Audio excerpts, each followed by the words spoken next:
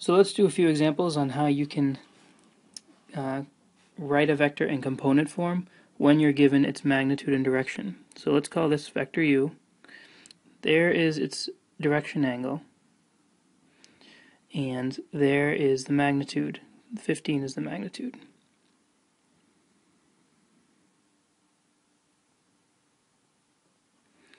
Okay, so uh, one way to do it is just to simply remember the formula we just came up with in the last video.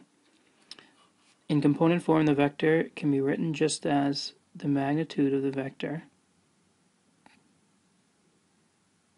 times cosine of the angle times, uh, comma, the magnitude of the angle times the sine of the direction angle. And this is easy enough. We have all the information. If we have a calculator on us, we can just write it write it out and plug it in. So uh, this is 15 cosine of 100 degrees, comma, 15 sine of 100 degrees.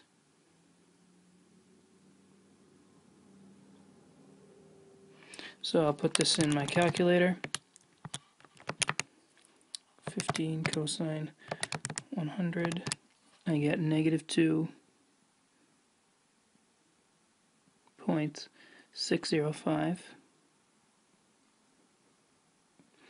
and 100 sine of, I'm sorry, 15 sine of 100 degrees is 14.772.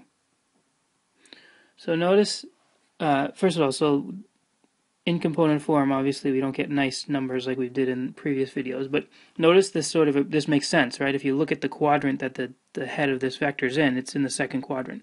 So it makes sense that the x coordinate is negative and the, the y coordinate is positive. Um, let's do this, this next example here. Um, and again, I'm going to do this another way. Okay, I think this is the easiest way to do to do it. If you remember this formula right here, really, really easy, right, if you're given the, the magnitude and the direction angle. But if you're more visual, what you can do, and if you like looking at triangles, another way to do it is just to make a right triangle. Let's call this vector v. And um, we want to find x and y. So v, vector v, the component form is x comma y. Let's just find what x and y are. Well, it's a right triangle, and we can use some trig here. The cosine of 48 degrees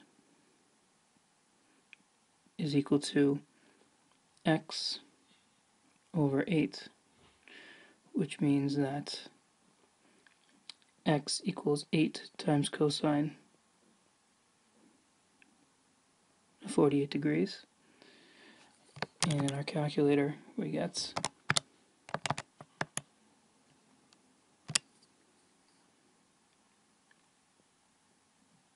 five point three five three.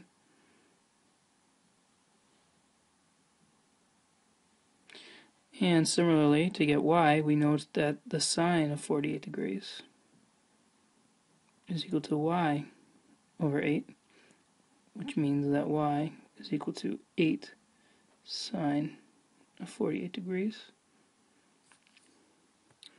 So we put that in the calculator, and we get 5.945. Now, I'm going to stop, and I want you to look very closely. This vector here is in quadrant 4, so its x component is positive, so 5.353 is appropriate. But its y coordinate should be negative, right? Because it's moving right and down. Now, 48 degrees, when we did the sine of 48 degrees, right, the, the, the calculator thought we wanted it to be in quadrant 1 because it didn't know. So you can either write type in sine of negative 48 degrees, because this technically in standard position is negative 48 degrees, or you look at your picture and just notice that when we write our final answer, we need to put in that negative to assure that the component form agrees with the picture. So we really should write negative 5.945, even though that's not what the calculator told us.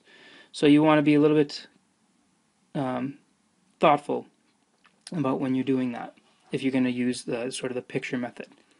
Okay?